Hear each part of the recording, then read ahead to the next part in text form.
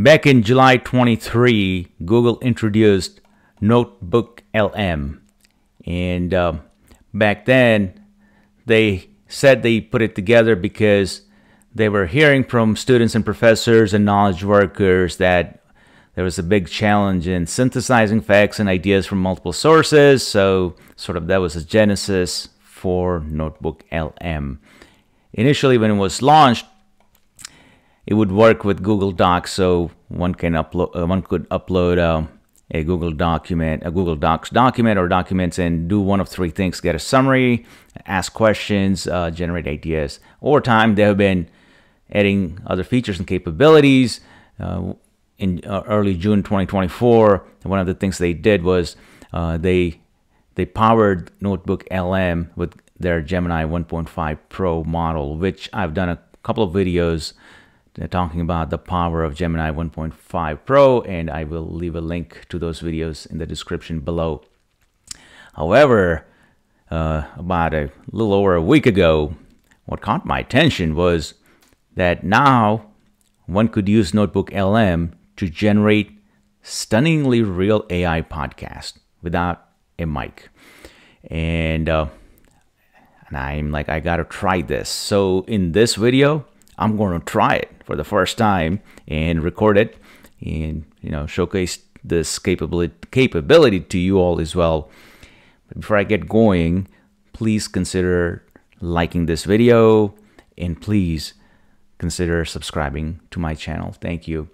So before we get you know, actually go do a podcast here using Notebook LM, if you have not played around with it or not familiar with it, just head out to notebooklm.google or just Google it and you know not too hard. You will end up here, and it kind of tells you about how it all works. Yeah, Notebook LM is a personalized AI research assistant. So th think of it as a research assistant backed by Gemini 1.5 Pro, and uh, kind of walks you through which all the different things you can do. Um, one of the things it talks about is source grounded with inline citations. So you would get inline citations back, basically telling you where it got the information. Like you know, you, know, you, you would have some footnotes that tells you where it picked up the information. The other thing they highlight here is that your personal data is not used to train Notebook LM. Um, so, yeah, check check out all the privacy and terms. Um, it's always good to always good to do that if you're going to be using this product. So now we will build a podcast. So my idea is I want to take a PDF document that I have. It's a research paper I um, published last year and it's available all over the place. Um, so I'm going to go find that guy. And, uh, you know, basically it, it requires you have a Google account and, uh, you know, this is what it would look like.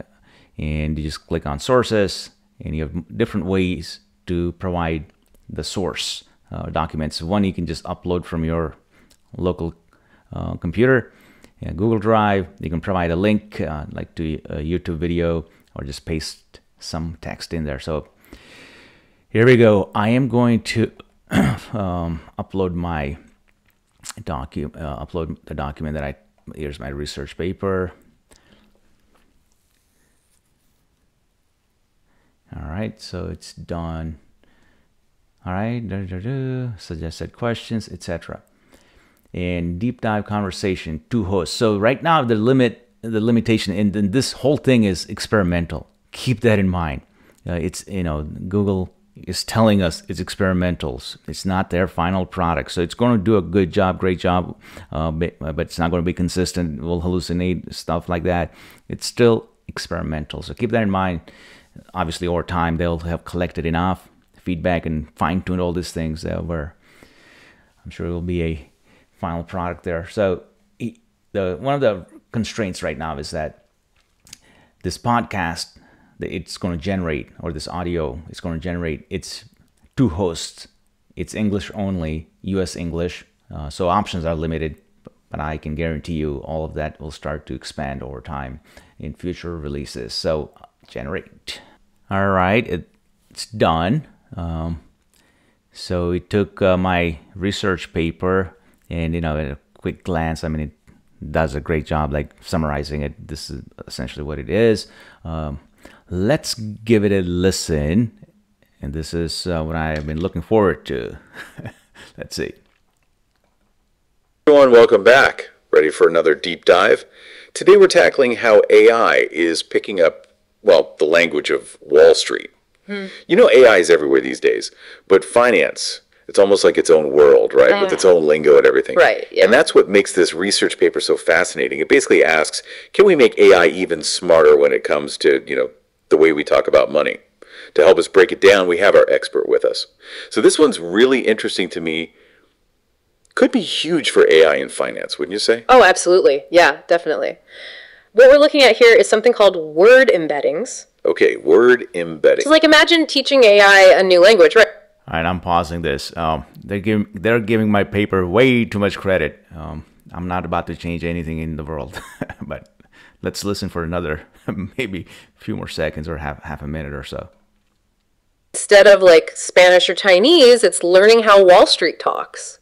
So it's not just about like looking up the definition of interest in a dictionary. No, not at all. It's about actually understanding how that word is used differently in a financial context. Exactly. Exactly. And the cool thing is, they use this massive data set for this research over a million customer complaints to the CFPB. Wow.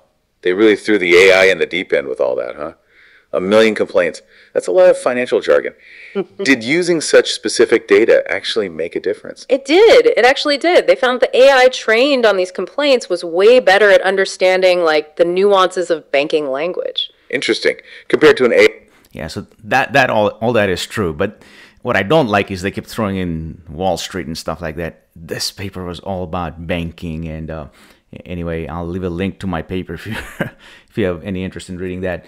Um, so yeah, I I mean, a whole lot of it is true, um, but you know, it feels like there's exaggeration going on. You know, um, it's going to change the world and Wall Street. And uh, all right, okay, another 20, 30 seconds. Trained on, say, just general news articles or something. Exactly, yeah, much better. Okay, so walk us through this. How do you even start teaching AI the language of you know banking? It's not like you just handed a finance textbook, right? Right, you're right. It's a bit more involved. They used a technique called a co-occurrence matrix. A co-occurrence matrix. Yeah, so they basically fed the AI this massive data set and then had it analyze which words popped up together a lot. So it's like they gave the AI a dictionary and a mountain of customer complaints. All right. So, I mean, it is true. I, I, am laughing because uh, someone talking about my paper. Um, yeah, it's kind of funny. Let me just, let me see, let me fast forward here. It actually understands payments as this whole concept. Precisely. And to really drive this home, they actually made visualizations, like how different words were related. Visualizations, that's cool. Yeah, like imagine a web connecting these ideas. One example they gave was the relationship between, let's say, overdraft fees and NSF. And. Well, I'm on the edge of my seat. Did our bank set. All right, okay, that's enough. Uh, I'm not going to torture any one of us with any more of the podcast here again, I it, it is. I have two different reactions. One is it's really cool, but on the other hand, uh, uh, I don't know, it's just creepy. Maybe because it's my paper and I know what it's all about. So it, the gist of their podcast would be true. Like you know, that's exactly what I did. I was trying to show that if you use banking specific corpus or corpora and train um, and train your model doing that, it's going to be much better than you know just random or just general articles, etc. So, yeah, um, yeah, I'm gonna have to like linger on, linger on this, but uh, it's cool. It's cool. I'd, I'd say go try it out for yourself. I, um, you know, this is a document, but apparently you're able to also select. Um, you know, you can upload a YouTube uh, video or or uh, put in a website link, uh, etc. Okay, uh, I'm just trying to I wanted to do this do this uh, in a way so that you could see for the first time my reaction to this and uh, you know at the same time show you some pretty cool capabilities that's uh, that are being built at Google. There's certainly going to be some evolution here for sure uh, but I absolutely in the right direction absolutely in the right direction. Hey thanks for checking this out. Thanks for humoring me by checking this video out um, yeah, a little, a little freaked out, but at the same time, really excited about where all this is headed. Please think about uh, subscribing to my channel. Until next time.